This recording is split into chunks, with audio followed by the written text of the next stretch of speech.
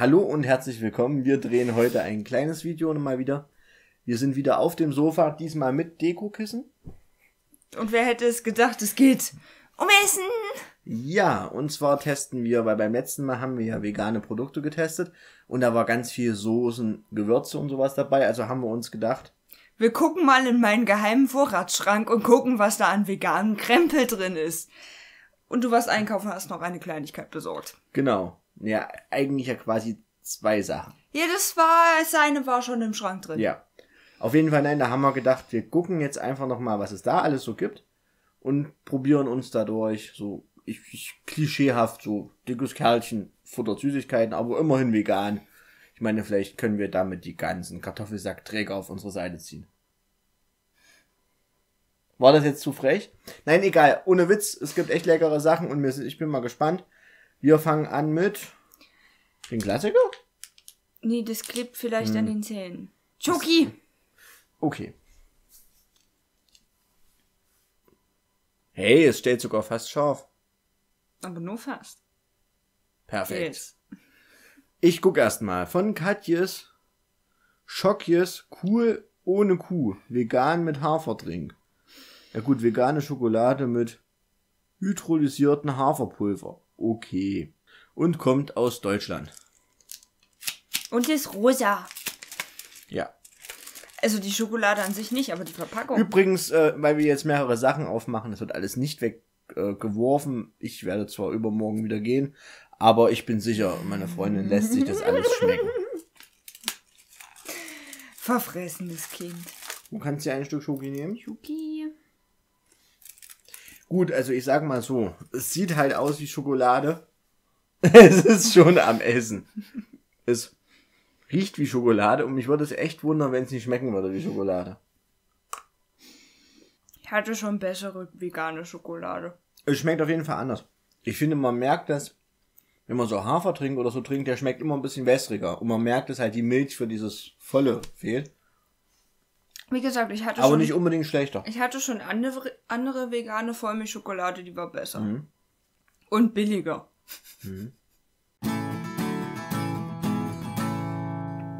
Pock. Erzähl du was dazu, du kennst das. Das ist äh, Kokoszeugs mit Chocolate Sea Salt. Ich habe das, ich hatte davon schon mal eine Packung, hat das für lecker befunden, hab's dann einfach nochmal nachgekauft. Kokosnusschips. Die sind auch glutenfrei. Ist nicht alles, was vegan ist, irgendwo auch Nein, okay. Brot. Also Gluten ist also so Weizenprodukte und sowas. Aus Berlin. Es riecht interessant. Also riecht halt nach Kokos. Ja. Sieht aus wie nichts anderes als Kokosraspel. Hm, Ja. Ich finde, das hat, äh, wenn ich mich recht erinnere, schon ein paar Monate her, als ich das letzte Mal gegessen habe, so ein bisschen was Karamelliges. Sag mal so, wer Bounty nicht mag, mag auch das nicht.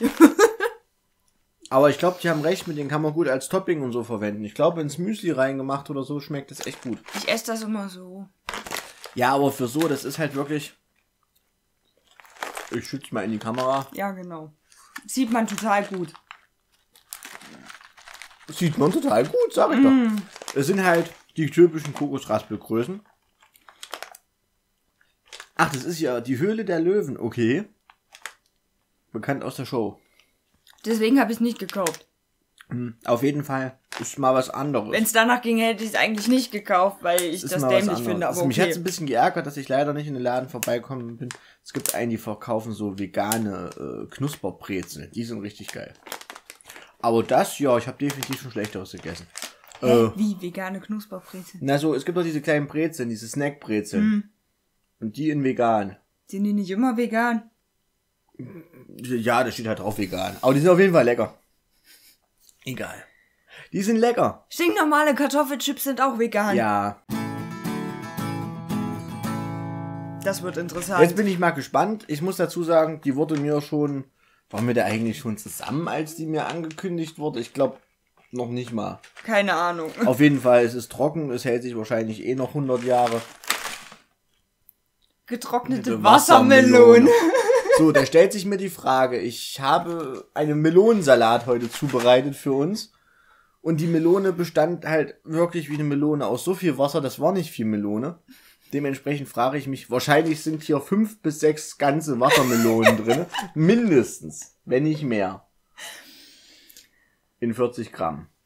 In Scheiben getrocknet mit Kernen. Mit Kernen sogar. Sind wir doch mal ehrlich, eigentlich sollte es ein bisschen süß und ansonsten nach nichts schmecken. Aber knusprig oder lapprig? Das knusprig, hoffe ich mal. Das sieht ja lustig aus. Ich reiche dir eine dünne Scheibe getrocknete Wasser. Also es ist halt wirklich Wassermelonenscheibe. Es riecht auch ein bisschen Kernen. nach Wassermelone. Das kannst du auch mit Aromen nachhelfen. Es schmeckt wie Wassermelone. Wird auch sofort klebrig im Mund. Aber mir schmeckt er. Ja. Es ist okay. Als nächstes gibt's einen Klassiker. Gummibären. Das sind die klassischen in der Variante vegan, glutenfrei, laktosefrei. Weißt du, was ich mich die ganze Zeit frage, ob das Bild gespiegelt ist, aber das kann ich in der Nachbearbeitung zum Glück noch machen. Siehst du. Siehst du's? Ein Hoch auf Nachbearbeitung. Ein Hoch auf meine Freundin, die die Nachbearbeitung gerne freiwillig übernimmt. Soll ja ordentlich aussehen, das Video. Das kannst du Och, die nicht. sind ja süß. Ähm, oh, Oh, riecht gut. ich möchte eine Mini-Zitrone. Oh, die sind wabbelig. Ja, das ist wie bei den Katjes. Du dann Das erinnert aber weniger an Haribo, sondern Oh mehr Gott. an diese Nimm 2 Lachgummis. Ich sag mal so, das Draufbeißen war nicht das, was ich erwartet habe. Da bleibe ich lieber bei Katjes, ganz ehrlich.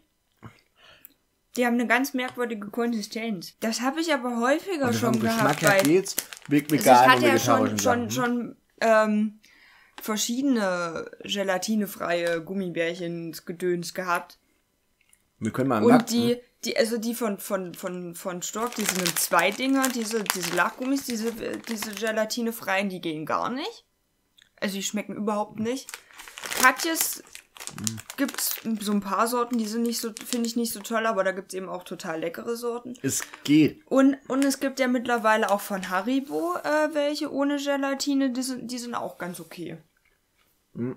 Muss sind, sagen, die sind, die gehören nicht zu meinen Favoriten. Ich muss mich mal weißt du, wie die... das schmeckt? Wie das Innere von einer Gelee-Banane. Ich habe die ganze Zeit den Geschmack im Mund gehabt. Kennst du diese Gelee-Bananen? Ich esse sowas nicht. Ja. Oder halt, was ich... So schmeckt das, was ich heute bei der Mensch ärgert dich nicht Runde Bah! gegessen habe. nee, also ich muss sagen, eine, äh, diese Rossmann-Eigenmarke hat leckere Sachen. Das gehört nicht dazu. Nee. Aber jetzt kommt Ich muss mich irgendwann mal durch diese. Es gibt ja bei sämtlichen Läden diese teureren veganen Gummibärchen, müsste ich Mhm. mich mal durchprobieren. Also ich sag mal, jetzt kommt das, wo ich sehr gespannt bin. Ich kenne es nur als Fertiggericht-Zubereitung, muss ich ganz Mhm. ehrlich sagen. Ich hätte da auch irgendwie mal so, so eine Suppe oder so. Hab das durch Zufall entdeckt. Also was heißt durch Zufall? Ich habe halt mal geguckt. Ich rede von Holzpellets. Oder So. Legosteine.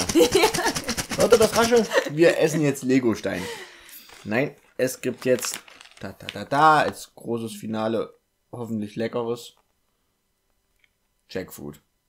Ich kenne das tatsächlich als äh, fertig so Curry und sowas, was du dann zu Reis Gibt's machst. aber irgendwie auch als so, so, so Schnitzelalternative. Ähm, würdest du mir die Schere holen? Riecht nach wirklich, also so stelle ich mir riecht nach gar nichts vor. Das riecht nicht nach nichts.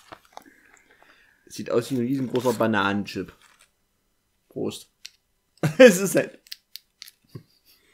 Es ist süß. Und knusprig.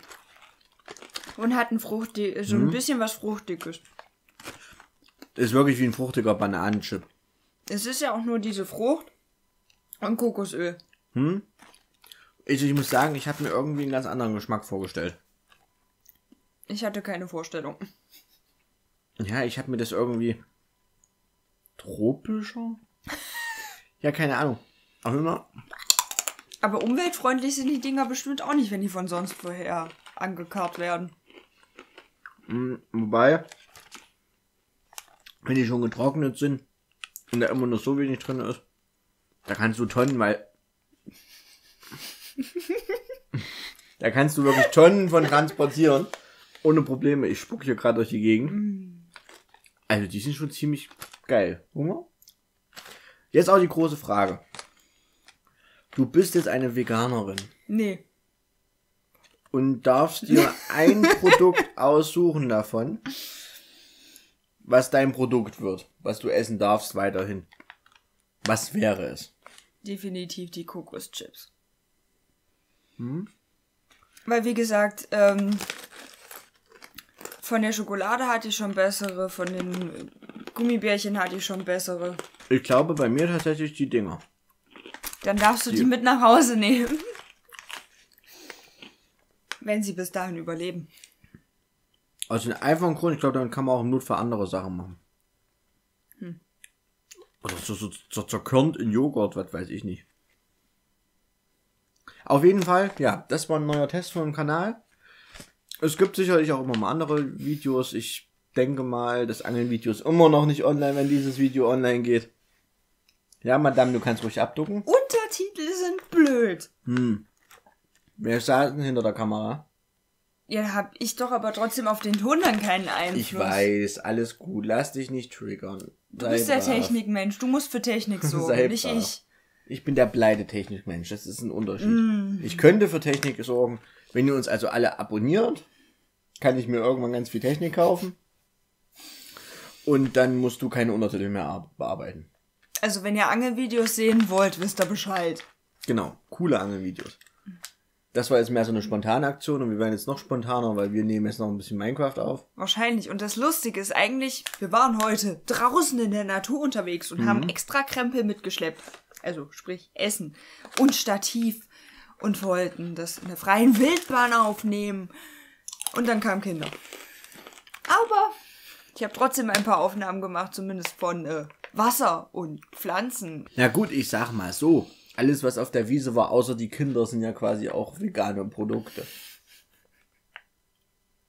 Wasser, Gras, Da sind Bäume. Bienen umhergeflogen. Die produzieren Honig. Der ist nicht Ja, vegan. Der ist nicht vegan und so eine Biene ist nicht vegan und so ein Kind ist nicht vegan. Da gebe ich dir recht. Aber der Rest ist alles. Also ihr seht jetzt Möchtest noch du ein Kind essen? Oh Gott, hier tun sich Abgründe auf. äh, na, eigentlich habe ich das nicht vor. Aber ich meine, wenn die einen auf den Keks gehen, das wäre Recycling. Nein, Spaß. Also vielen Dank auf jeden Fall fürs Zuschauen. Äh, ich glaube, ich muss jetzt meine Freundin erstmal trösten. Sie ist etwas geschockt. Und, äh, wie war das? YouTuber-Verabschiedung. Tschüss. Tschüss.